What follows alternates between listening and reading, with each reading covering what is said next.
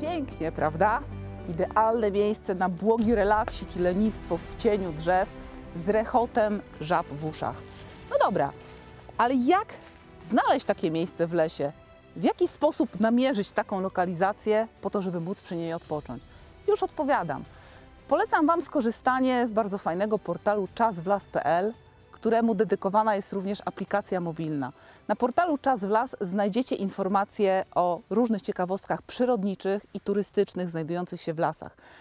Portal Czas w Las to również takie narzędzie, które w pełni zaspokaja potrzeby informacyjne dla turystów w zakresie miejsc postoju pojazdów, miejsc odpoczynku, różnego rodzaju bardzo ciekawych obiektów, w których możecie przebywać nie tylko godzinę czy dwie. Możecie się tam zatrzymać na dłużej, po to, aby w ciszy i spokoju, w kontakcie z leśnikami, spędzić bardzo fajny urlop.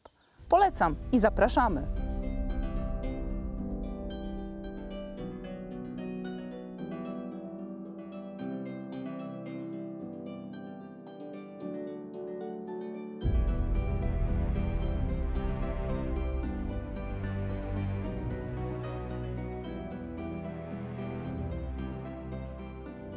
Zapewne na pierwsze nasze leśne wycieczki wybierzemy się stosunkowo niedaleko, czyli do najbliższego nadleśnictwa.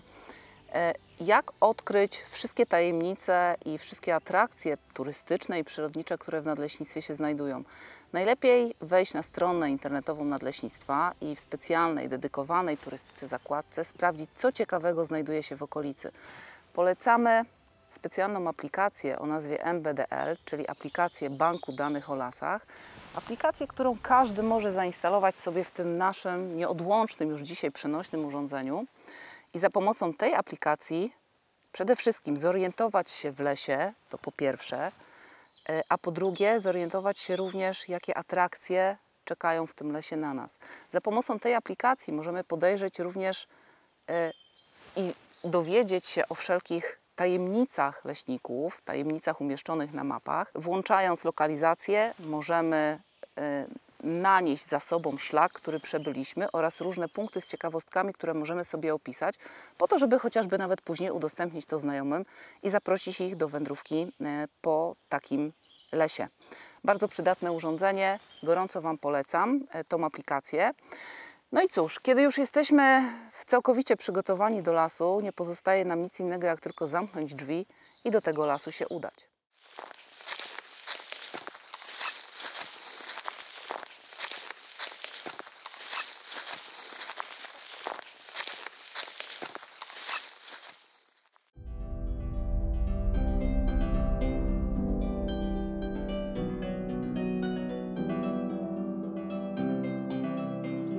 Zgubić się w lesie.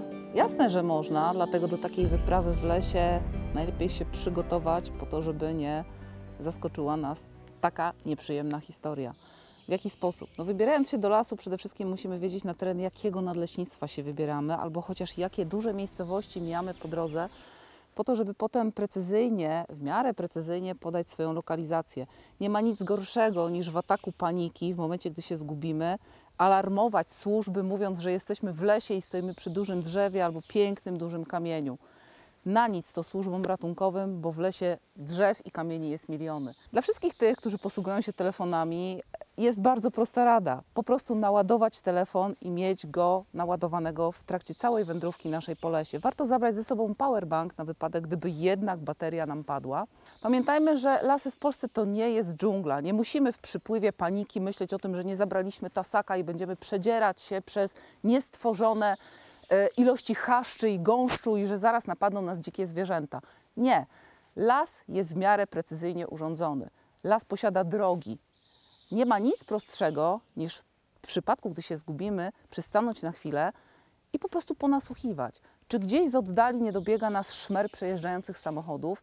Mamy gotowe rozwiązanie. Zbliżamy się do jakiejś drogi przelotowej, jakiejś głównej drogi, z której e, będziemy mogli dostać się do tak zwanej cywilizacji. I jeżeli nie mamy przy sobie telefonu, albo nie byliśmy na tyle przezorni, żeby naładować baterię i zabrać powerbank, spróbujmy znaleźć w lesie słupek oddziałowy. Słupek oddziałowy to nic innego jak tylko kamień granitowy bądź betonowy, czasami również drewniany, na którym umieszczona jest pewna informacja. Są to liczby, które wskazują nam podział powierzchniowy w lesie. Odnajdujemy słupek, przekazujemy tą informację. Oczywiście bardzo ważne jest również doprecyzowanie, że jesteśmy na terenie nadleśnictwa, na przykład Gryfino, albo że znajdujemy się w pobliżu miejscowości, albo ostatnio mijaną przez, no, przez nas miejscowością była na przykład miejscowość Glinna. Wówczas taki słupek oddziałowy będzie bardzo miarodajną informacją. Korzystajmy z takiego oznakowania i tak jak już powiedziałam, po prostu nie dajmy się zjeść panice.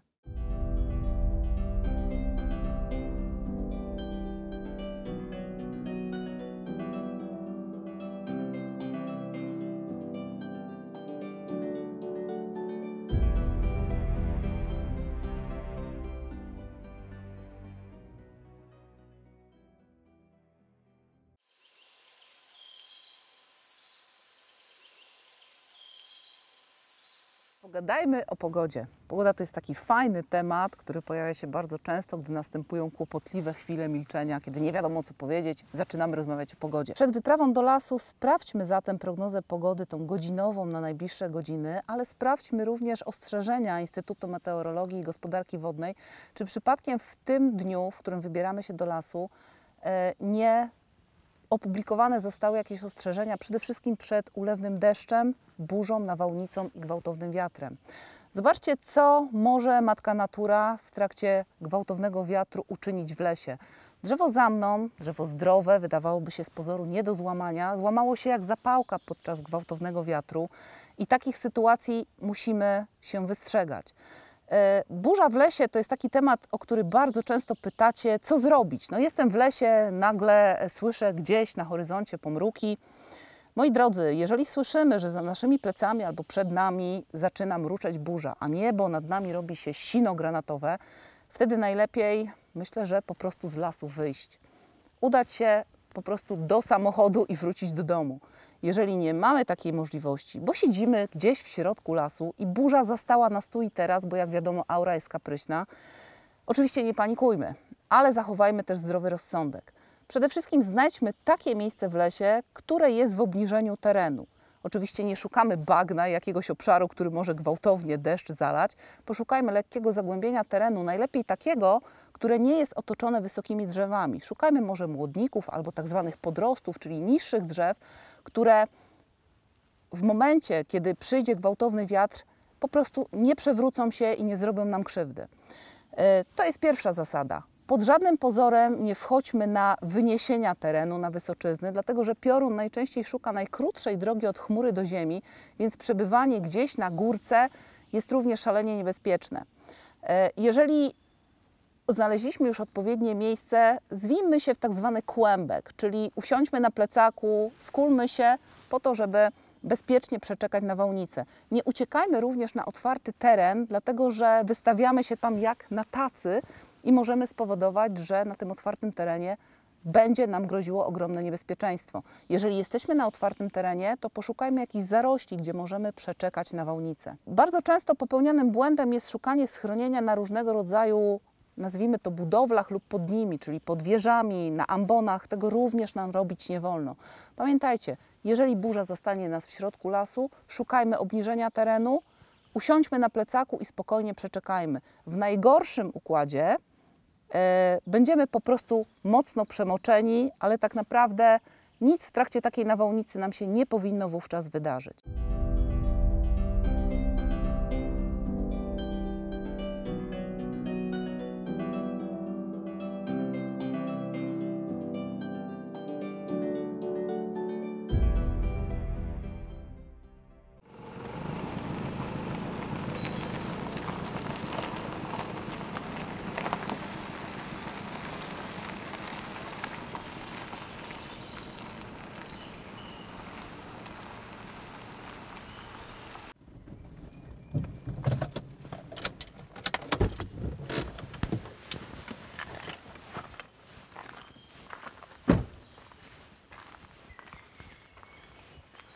A czy mogę wjechać do lasu samochodem?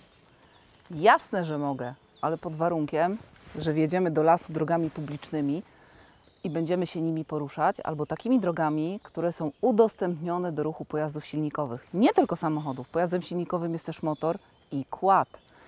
Takie drogi udostępniane przez leśniczego są oznakowane specjalnymi tablicami, na których wyraźnie istnieje informacja, że ta droga jest dopuszczona do ruchu pojazdem silnikowym.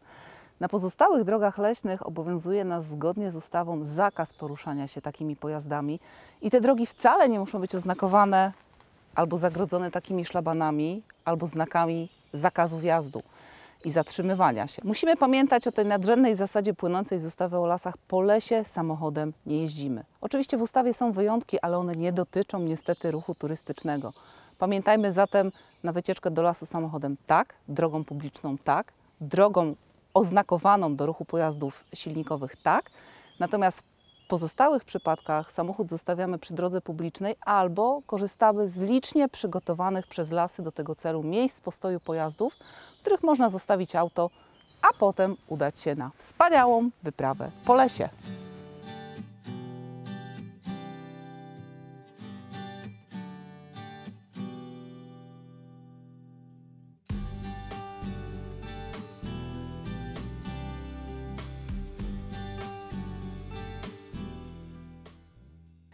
Nas często, czy można nocować w lesie. Jasne, że można, tylko trzeba pamiętać o tym, że należy to robić w miejscach do tego celu wyznaczonych. W wielu nadleśnictwach znajdują się liczne pola biwakowe, pola namiotowe, z których możecie skorzystać. Ale dla tych, którzy nie lubią noclegów w ścisku, mamy taką propozycję, która na pewno ich zainteresuje. Od tego roku na terenie każdego nadleśnictwa funkcjonuje program Zanocuj w lesie. Program Zanocuj w lesie polega na wyznaczeniu przez nadleśnictwa obszarów, na których możecie zanocować pod chmurką, pod koronami drzew. Informacje o tym, gdzie konkretnie zlokalizowane są obszary w ramach programu Zanocuj w lesie, znajdziecie na stronie każdego nadleśnictwa w zakładce Turystyka Program Zanocuj w lesie. Nocleg pod koronami drzew jest ekscytujący. Sama nocuję w lesie i powiem Wam, że nie ma nic lepszego niż ciepła, letnia noc, rozgwieżdżone niebo nad głowami i ten niesamowity zapach nocnego lasu i jednocześnie odgłosy, które w lesie potęgowane przez ciszę wydają się niekiedy upiorne. To wszystko sprawia, że nocek w lesie nocą jest naprawdę fascynujący i polecam go wszystkim tym, którzy nie mają pomysłu na urlop albo po prostu chcieliby spędzić z dziećmi ekscytującą przygodę. No okej, ale jak przygotować się do takiego noclegu w lesie? Czy warto ze sobą zabrać łóżko, kołdrę i poduchę? No oczywiście nie. O tym, w jaki sposób spakować plecak na taką wyprawę, opowie nam Hirek, który w lesie spędził chyba zdecydowanie więcej nocy niż ja i tak naprawdę o tych noclegach wie wszystko. Cześć Hirku. Cześć. Jak się przygotować do takiego e, nocowania? Dobra, idziemy do lasu, będziemy sobie nocować w lesie, mamy plecak i teraz co do niego wrzucić? No przede wszystkim musimy w czymś pod czymś spać. Mhm. Czyli musimy mieć zadaszenie na wypadek, gdyby pogoda się załamała, gdyby nas zastał deszcz, więc dobrym pomysłem jest start. Również namiot dla bardziej komfortowych e, osób. E, dla tych, którzy lubią dyndać w powietrzu, mamy hamak. No latem ja osobiście wolę hamak z moskitierą, ponieważ komary robią, robią swoje. Mamy, słuchajcie, e, do No. czynienia z komarami dzisiaj, więc taka propos, pierwszą rzeczą, którą chyba trzeba spakować do plecaka jest mimo wszystko powtarzany przeze mnie środek, repelent, który, Oczywiście. który umożliwi nam odgonienie wszystkich owadów, które mogą nam taką noc w lesie uprzykrzyć. Co wrzucić do plecaka? Przede wszystkim apteczka. Wyposażona plus y, dorzucamy do nich leki, które przepisał nam lekarz, których używamy na co dzień. Kolejna rzecz, ochrona przed deszczem, czy też kurtka, poncho lub y, jakaś narzuta, latarka. Latarka czołowa z tego względu, że pozwala nam mieć wolne ręce i, i możemy pracować swobodnie. Woda to jest podstawa, ale na pewno nie będziemy, jeżeli się rozbijemy gdzieś w okolicach e, jakiegoś źródła, mamy do dyspozycji taki mały, prosty filtr, który pomoże nam po prostu uzupełnić zapas wodę wody. Tak. Na e, niektórych właśnie obszarach pilotażowych można korzystać z kuchenek gazowych, więc będzie nam potrzebna taka kuchenka gazowa, malutka i źródło ognia, którym I z- sobie podpalimy. Zatrzymajmy się chwilę przy ogniu. Na obszarach pilotażowych objętych em, programem Zanocuj w lesie, czyli na obszarach nadleśnic wchodzących w skład leśnych kompleksów promocyjnych, dozwolone jest używanie kuchenek gazowych. Na pozostałych obszarach ogniska czy kuchenki, czyli otwarty ogień używamy tylko i wyłącznie w miejscach do tego wyznaczonych i takie miejsca są najczęściej zaznaczone e, na mapach tych obszarów. Ok, czyli mamy możliwość y, użycia kuchenki. Jesteśmy na obszarze pilotażowym na terenie Leśnego Kompleksu Promocyjnego Puszcze Szczecińskie. Mamy ze sobą kuchenkę. No i cóż, wypadałoby jakiś prowiant pewnie wziąć ze sobą. Przede wszystkim musimy mieć jakieś naczynia, w którym zwykły, dla jednej osoby zwykły podstawowy garnek e, e, z kubkiem wystarczy. Do tego składany kubeczek na poranną kawę. No i rzecz najważniejsza, kawałek czegoś ostrego. E, Nie musimy tutaj mieć noża typu Rambo, wystarczy nam zwykły szwajcarski scyzoryk, który pomoże nam, e, pomoże nam przygotować posiłek, zastrugać patyka. E, lub też taki niewielki Ciach. nóż mora, który kupimy za niewielkie pieniądze.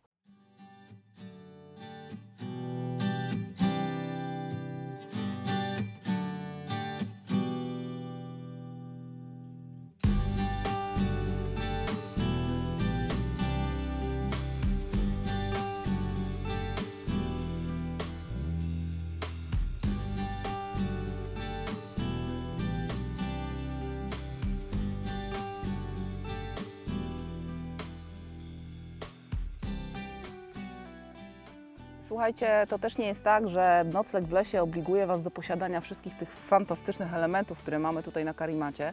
Tak naprawdę można ze sobą zabrać e, termosy z e, ciepłą herbatą, można ze sobą zabrać e, racje żywnościowe po prostu spakowane w pudełkach, z których skorzystacie. Bardzo ważna zasada to, kochani, nie zostawiamy po sobie śmieci. Survival e, i nocowanie w lesie to taka forma wypoczynku, która wpisuje się w mm, koncepcję e, nie zostawiaj po sobie śladów. Pytania dotyczące tego, czy można ze sobą zabrać psa, pojawiają się też bardzo często. Oczywiście, że tak. Pupile mogą Wam towarzyszyć e, podczas takiego noclegu w lesie, tak jak nam dzisiaj towarzyszy Nygus, który jest tam z tyłu za plandeką.